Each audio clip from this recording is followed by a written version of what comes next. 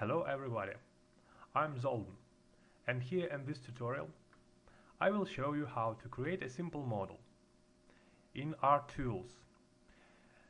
It will be a very simple model. Uh, the one that you use, uh, you attach it overhead of a unit to show that unit has a behavior, buff behavior. And this will be just a simple plane. Okay, let's create a simple plane. By default it has uh, four segments, let's change it to one segment. We don't need much, we only need what we need. Okay, let's place it to the uh, zero point. Let's change its size to 100 by 100. Okay, this is what we need, this little plane. And now we have to uh, to attach, to create and attach a material. Okay, standard StarCraft 2 standard material. Come on. Okay, it's created. And now we have to to configure the material. First it will be mask. We will need some parts of the plane invisible and blend mode. Okay, I was asked to base the model on this icon. We will use it as a texture. Okay, let's pick it. I will use emissive map. We don't need some complicated materials. We will use just one emissive map and alpha map to cut the unused parts of the of, of this plane. Okay, let's pick uh, the texture. This is how it looks. Now we need to copy the emissive layer to the alpha layer. Okay, now when we view this, we can see that green channel of the texture is perfect to to be to define what parts of the texture will be visible and uh, what is black will be not visible. Okay, we have to pick green here. Great.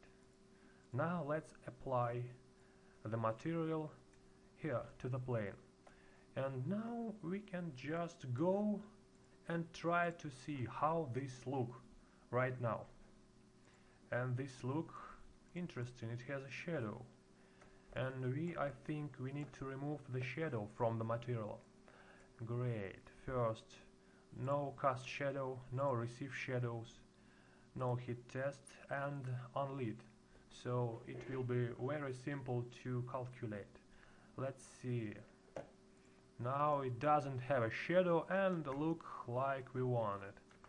Probably we will leave it like this, but we need our visual to always face the camera. It is very easy to do. First, we can see minus Y is uh, the face, Y is the rear.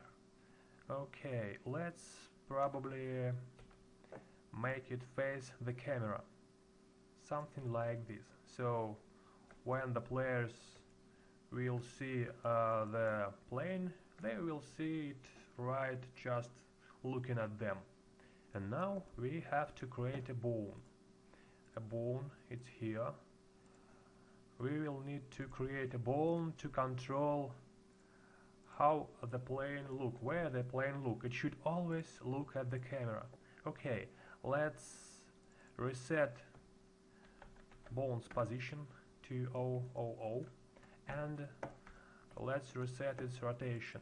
Okay now we can just adjust the position of the plane. It should be above above the the zero plane. Okay like this. And now we just attach the plane to the bone. Like this. Okay it attached. We can check it yeah bone controls its position. And now we need to use a special behavior. Okay there is a behavior editor. What can it do? Let's see I don't remember exactly where it is. Turret behavior? Billboard behavior yeah. This is what we need. Okay first we need to do what? To add bones from the view sele viewport selection. Okay we need to add this bone oh wait it's odd when I, when I press here. It was added. Okay. Look at camera. Yeah good. Interesting. Will this work? Let's preview. Let's see. Now okay this. Will this look always to the camera? Wow it does. Great I think that that's it. Now we have to we have to just export the model don't forget to click this little checkbox so it will use uh, the texture from from the game not from your local disk and uh, it will look like you want the end